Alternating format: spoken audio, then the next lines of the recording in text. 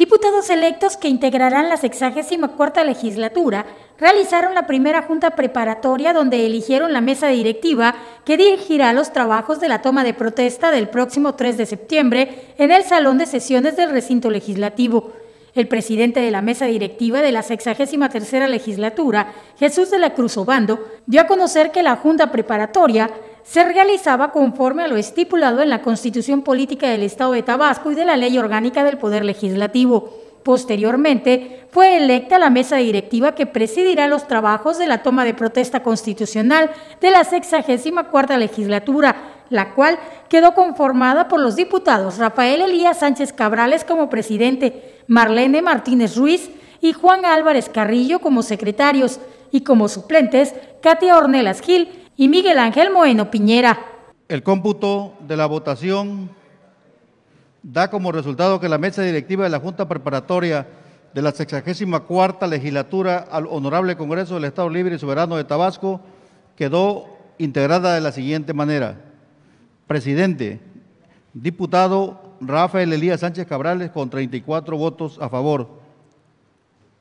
Secretaria, diputada Marlene Martínez Ruiz con 34 votos a favor.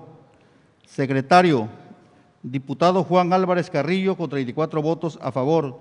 Una vez electo dicho grupo de trabajo, el diputado Jesús de la Cruz Obando declaró concluidas las funciones de la mesa directiva de la actual legislatura e instruyó que se entrara en funciones la mesa directiva de la Junta Preparatoria presidida por el diputado Rafael Elías Sánchez Cabrales.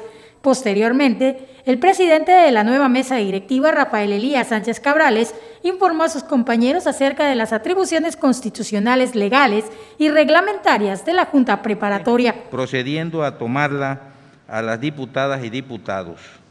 Acto seguido, se elegirá en escrutinio secreto y por mayoría absoluta de votos la mesa directiva para el primer periodo y primer receso del primer año de ejercicio, la cual se integrará por un presidente, un vicepresidente y dos secretarios.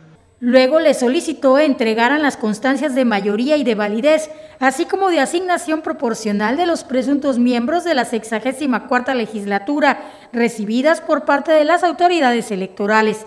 Finalmente, clausuró la Junta Preparatoria y citó para la próxima sesión que se realizará a las 11 horas del viernes 3 de septiembre en el Salón de Sesiones del Recinto Legislativo, donde se les tomará la protesta de ley. Con imágenes de Juan Carlos Domínguez para Noticias TVT, Carmen Hernández.